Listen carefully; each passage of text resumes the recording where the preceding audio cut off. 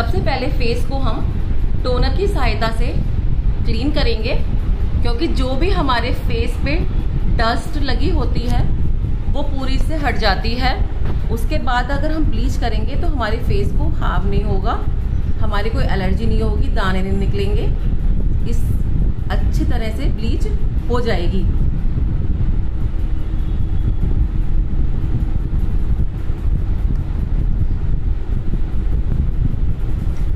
अब हम bleach apply कर रहे हैं। आप देख सकते हैं।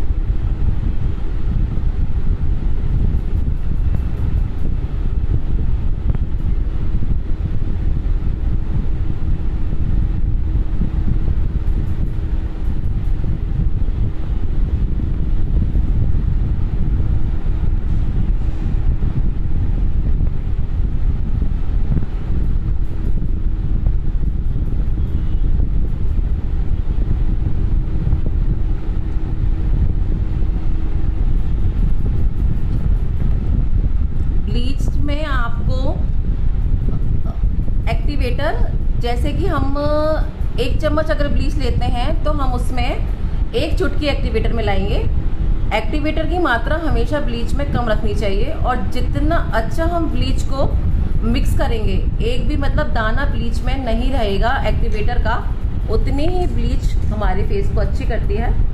वैसे ये मैं हर्बल ब्लीच कर रही हूँ फेस के लिए हर्बल ब्लीच ही अच्छी होती है। मार्केट में ब्लीच बहुत सारी आती हैं, लेकिन मैं आपको यही राय दूँगी, जितना भी हो आप हर्बल ब्लीच ही यूज़ करें, जिससे कि कभी भी आपको फेस पे रैशेज नहीं आएँगे, दाने नहीं आएँगे, एलर्जी नहीं होगी, और आपकी स्किन जलेगी नहीं। और स्किन के टोन के अकॉर्डिंग ही ब्लीच को रखना चाहिए, पाँच मिनट, आठ मिनट या दस मिनट। इससे ज़्यादा ब्लीच को कभी भी फेस पे नहीं रखना चाहिए। मैं आप लोगों को यही बोलूँगी। ज़्यादा देर ब्लीच रखने से स्किन जल जाती है।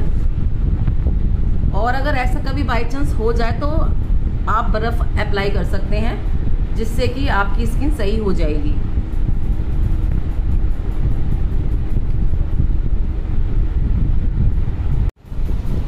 अब आप देख रहे होंगे कि ब्लीच में थोड़े थोड़े से बुलबुले से उठ रहे हैं, थोड़ा सा फूल रही है मतलब ब्लीच तब ये हम हम इसमें धीरे धीरे उंगली अप्लाई करेंगे। उंगली की सहायता से गोल गोल गोल को दोबारा से इसको चलाएँगे, जिससे कि पूरी फेस की ब्लीच में आपका हाथ लग जाए। और मेन हम ब्लीच इसलिए करते हैं फेस पर कि जो हमारे चेहरे पर काले ज़्यादा भूरे या मतलब जो बाल चेहरे पे गंदे लगते हैं, अजीब से लगते हैं, उनको ढकने के लिए, क्योंकि ब्लीच से बालों का रंग स्किन के रंग जैसा हो जाता है। ब्लीच को मैं ये आपको बताऊँगी कि ब्लीच कम से कम महीने में एक बार ही करें। हो सके तो क्योंकि ब्लीच चेहरे को ज़्यादा अच्छा रिज़ल्ट नहीं देती है। मतलब आ, मैं ये नहीं कहूँगी कि ख़राब है लेकिन आप बहुत से लोग जैसे कि हफ़्ते में एक बार यूज़ करते हैं तो वो ना करें।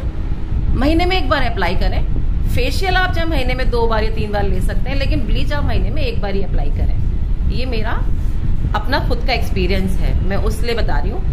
अब आप को ब्लीच में पाँच मिनट होने को आ रहे हैं तो अब आप आँखों के साइड से आँखों के बिल्कुल नीचे वाले एरिए से सबसे पहले हटाएँगे, क्योंकि वहाँ सबसे ज़्यादा रैशेज होते हैं।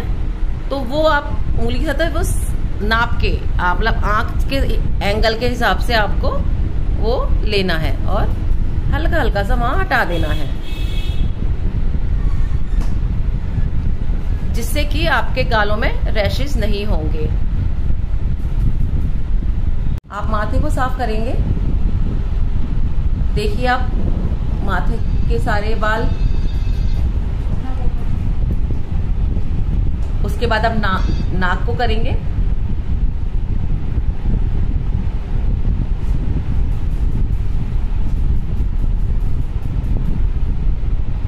उसके बाद गालों के बीच वाले बस एरिया को करेंगे साइड से नहीं करेंगे क्योंकि साइड के सबसे ज़्यादा बाल डार्क होते हैं।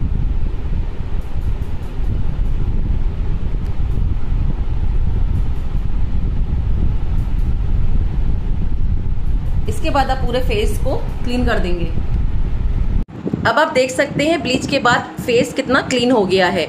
और आप देखिए, आपको कहीं भी बाल नज़र नहीं आ रहे हैं। Thank you friends